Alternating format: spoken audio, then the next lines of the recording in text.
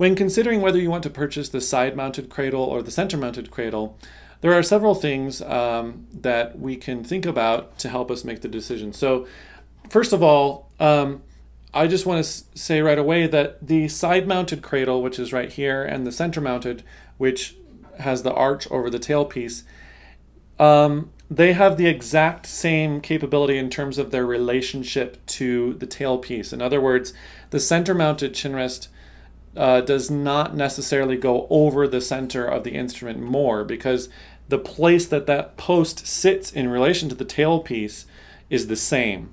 So when you move the side mounted chin rest all the way over as close as it can get to the tailpiece without actually touching the tailpiece, you'll find that you can rotate the lateral adjustment over the tailpiece just as much as you can with the center mounted chin rest.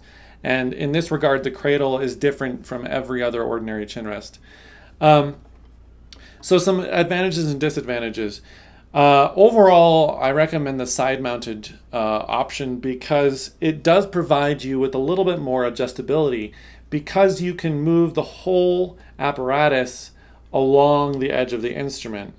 And we often find this to be quite helpful, and it's especially helpful for people with, say, medium and longer arms, uh, bow arms. And you can watch another video where I talk more fully about the relationship of the instrument placement and the bow arm. But um, oftentimes people with longer bow arms and which also usually have longer necks, they need a uh, progressively more side-mounted chin rest that also can accommodate the length of their neck. And oftentimes that goes along with they need more uh, they need to bring the chin plate too closer to their neck.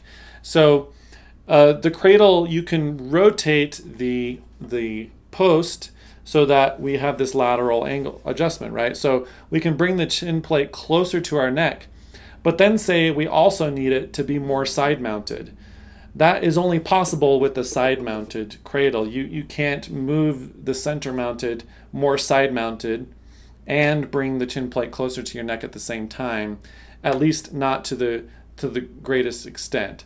So the side mounted does tend to be a little bit more adjustable. And in general, I can't tell a difference between the two in terms of sound. Some people talk about how the center mounted uh, chin rests seem to work better with their instruments. And I've also heard from others who have said side mounted chin rests seem to work better with their instrument. Um, I can't really tell much of a difference. Uh, that can be different for everybody. I would remind um, us all that that you know when you change the placement of the of the chin rest, it's going to change the relationship of your ear to the instrument, which which can account for some of the um, different like perceiving a different sound.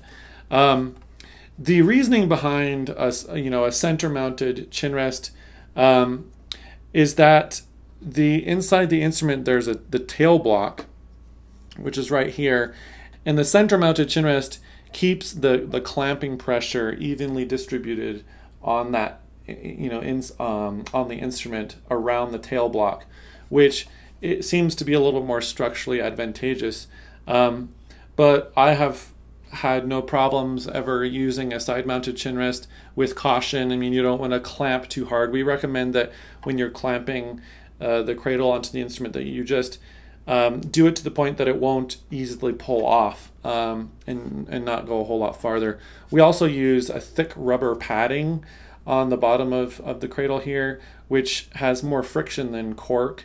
Um, so you, you should, you, probably uh, not need to tighten uh, the clamps as much as you might with other chin rests um, as well. So um, those are some of the advantages and disadvantages.